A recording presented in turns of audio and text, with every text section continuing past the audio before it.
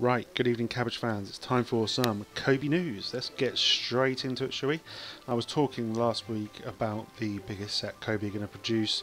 I wasn't sure what it was, but some people commented below. I think one of them was called Carol uh, or Carol, uh, and also some people on Reddit said to me it's going to be a PT 109 Patrol Torpedo Boat, which is going to be awesome, especially if they get some inside detail on it. So I'm interested to see how that one goes.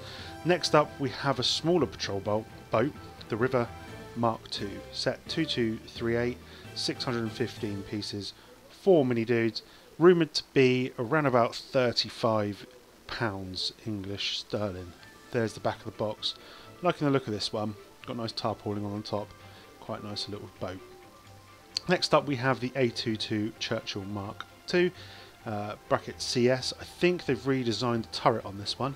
Set 2709, 301 bricks, and this one will roughly be about 15 to 20 pounds if rumours are right. So we'll see on that one. Uh, back of the box there, some moving up and down turrets and round ones. Quite a nice little tank. Probably pick that one myself to do a little review on it. Very nice indeed. Next we have a quite big set, the aircraft carrier Graf Zeppelin. Uh, this originally was a World of Warships uh, set, but now it's been moved to the historical collection. So set 4826, 3,136 pieces. The main difference between the two, I think the deck looks a bit browner. Um, it's roughly going to be about 150 pounds for this one, which is about right for a ship. They're usually about that size. Uh, and then we've got this set. So this is the limited edition set. So there's a bit of hoo-ha about this set. People saying what's different between this one and the other one, and they addressed that in the Monday stream. Um, so the list the dude's holding is not in the other set. The prints on the tyres or wheels or hubcaps, whatever you want to call them, and the lights are slightly different. Uh, whether that justifies you spending more money on a limited edition, it's down to you guys. I've got it coming, so we'll see what happens for me, it's a it's a cool car anyway. Um, next up, we have the Africa Korps uh, set 2050, uh, 30 bricks and three mini dudes. Probably going to be about 10 to 20 pounds for that one.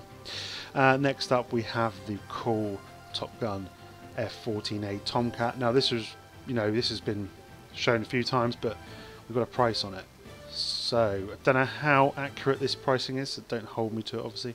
But it's meant to be 299.98 zloty, which is about 60 to 70 pounds. For me, don't know if that's going to be about right. I wonder if it's going to be a little bit more expensive than that. But 754 pieces, two many dudes. You've got Maverick and Goose. Very, very cool. I can't wait to get my hands on that one.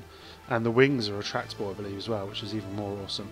Uh, and then last but not least, on Monday stream, they mentioned the catalogue will be coming out end of May or maybe sooner, and they mooted about the possibility of buildings. Now, people want buildings. What buildings they are, I don't know. But for me, I'd love a cool war building. Don't know what, but you can get some cool mocks going if you've got some buildings and stuff and scenery and stuff. So we'll see what comes from that. Um, I'm hoping to do these every week now. Um, as long as the news keeps coming, I'll see how it goes. Uh, if I've missed anything, please do drop a comment below. Let me know if I've missed anything. Um, once again, thanks for tuning in. If you like this, please do like it. If you want to see more of this, subscribe up because it's a weekly thing as well as my reviews and everything else. Um, I won't bother saying if you didn't like it because if you didn't like it, you probably stop watching it after a minute. So take care. See you on the next one. Bye bye.